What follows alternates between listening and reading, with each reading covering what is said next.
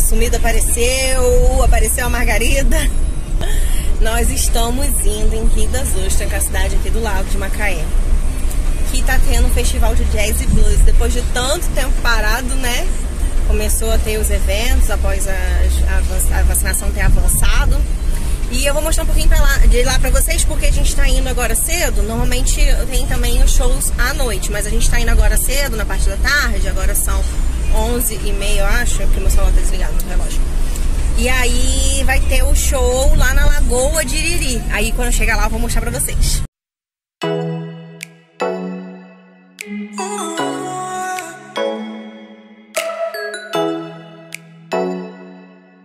Chegamos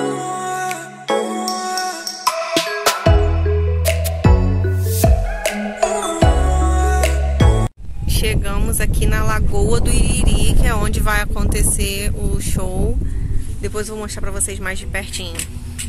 Cheguei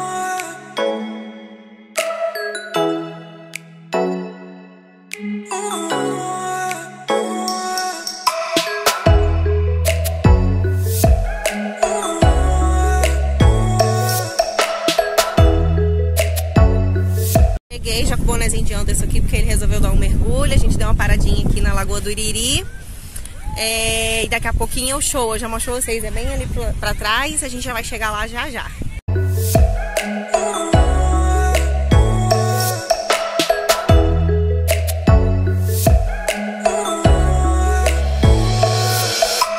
que está sem ingresso do lado de fora, então vocês podem se dirigir aqui ao portão principal, mesmo se você estiver sem ingresso, a entrada vai ser liberada. De forma organizada, por favor, e a gente conta também com a compreensão de todos vocês. Quando ao término do show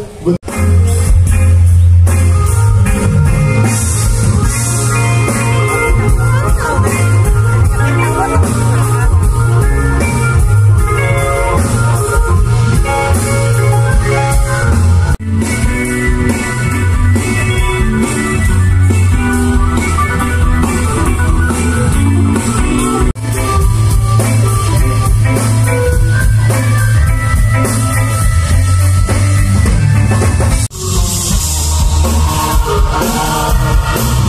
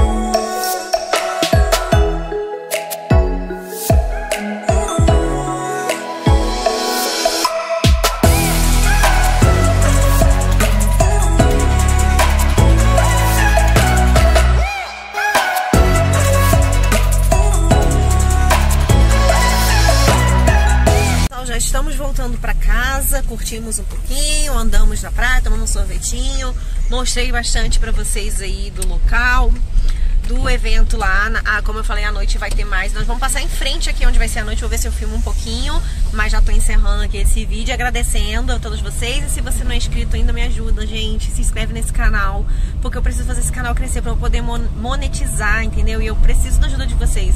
Me ajuda aí, se inscreva no canal, dá um likezinho, obrigada.